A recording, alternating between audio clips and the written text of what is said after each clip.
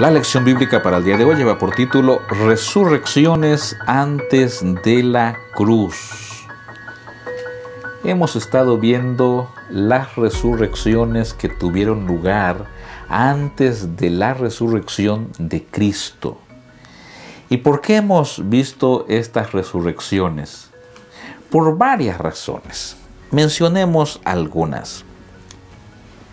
Por ejemplo, si Jesús hubiese tenido su ministerio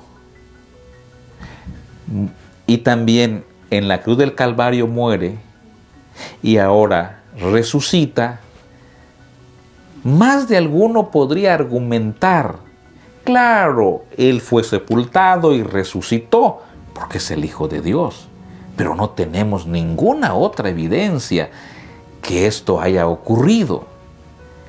Y entonces nos encontramos con que sí hay evidencias.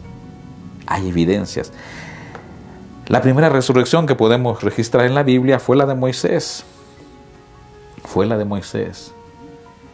Y Moisés tuvo que morir. Claro, él en su corazón tenía esa tristeza porque tanto tiempo lidiar en el desierto con todo el pueblo, con la esperanza, con la promesa de poner sus pies sobre la tierra prometida y no lo logró. Claro, Dios sabía que tenía algo mejor para él.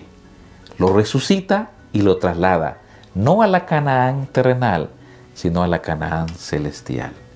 Y luego vienen las demás resurrecciones.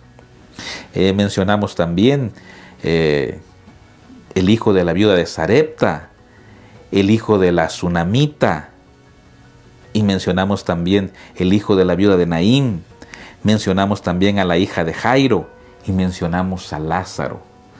Todas estas resurrecciones ocurrieron, ocurrieron en diferente tiempo, diferente lugar, pero ocurrieron para evidencia que hay poder de resurrección en el Dios Todopoderoso. Aquel creó él puede también recrear. Y esto muestra de que aún para la muerte hay solución. ¿Qué lecciones podemos aprender de esto? Mencionemos dos. En todos estos casos que hemos mencionado, confirman la enseñanza bíblica de la inconsciencia de los muertos. Explico ninguno de los que resucitó dijo algo así como, yo estaba en tal lugar, ¿por qué me llamaron? Nadie. No dijeron, qué bueno que me llamaron porque la estaba pasando mal. Nadie.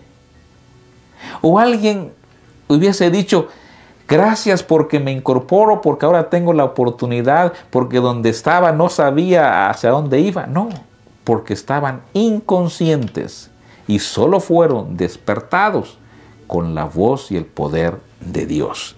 Y número dos, en ninguno de estos casos o relatos, ni en ninguna otra narración bíblica de resurrección, se hace mención de una supuesta experiencia más allá de la muerte. Es decir, que no hay en labios de los que resucitaron una expresión que ellos sí vieron algo más allá. Yo me imagino que la familia pues no solamente se alegró al ver que ellos resucitaron, en alguna conversación que tuvieron les hubieron preguntado, bueno, y cuéntanos qué es eso de morir. La respuesta es simple. Yo no me di cuenta de nada es como dormir y luego despertar. ¿Qué pasó en ese tiempo? Nada. Una vez más queda confirmado que la Biblia es coherente con la enseñanza del estado de los muertos, pero lo más importante acá es el poder de Dios para resucitar. Que Dios te bendiga. Soy Eber Recuerda, hoy es el día de tu salvación.